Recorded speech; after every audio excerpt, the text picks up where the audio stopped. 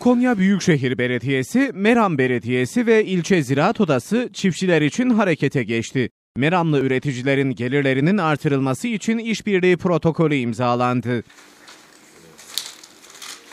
Konya Büyükşehir Belediye Başkanı Uğur İbrahim Altay, çiftçilere yönelik yatırımlardan bahsetti. 2014'ten bugüne kadar 210 milyon lira tarımsal sulamaya yatırım gerçekleştirdik. Ayrıca çiftçilerimize 41 milyon liralık destek sağladık ve bu destekleri sağlamaya devam ediyoruz. Bir taraftan da çiftçilerimizle ilgili ciddi eğitim faaliyetleri yürütüyoruz. Çiftçilerimizin bilinçli tarım yapması için çalışmalar yapıyoruz. Bu yapacağımız protokolle de mahallelerimizin ihtiyacı olan ekipmanı Meram Belediye'mizle birlikte temin ederek Meram Ziraat Odamızın kontrolünde mahallelerimizin kullanımına sunmuş olacağız. İnşallah bu desteklerle Meram'da insanlarımızın gelirinin artmasına vesile olacağını umut ediyorum. Meram Belediye Başkanı Mustafa Kavuş da örnek bir proje imzalandığını vurguladı.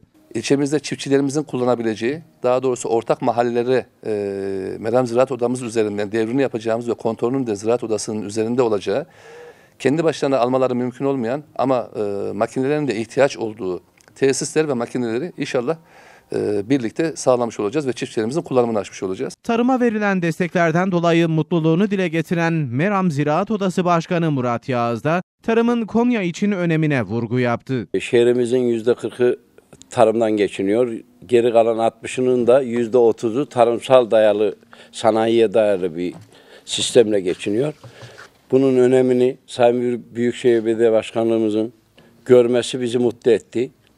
Başta Meram Belediye Başkanımız olmak üzere Büyükşehir Belediye Başkanımıza ve Meram Belediye Başkanımıza tarıma gösterdikleri ilgiden dolayı ve az önce başkanlarımın açıkladığı köylümüzü köyünde tutabilmenin yolu makine hurdalığından çıkararak toplu kullanıma açılan bu ekipman desteklerinden dolayı Sayın Başkanlarımıza teşekkür ediyorum.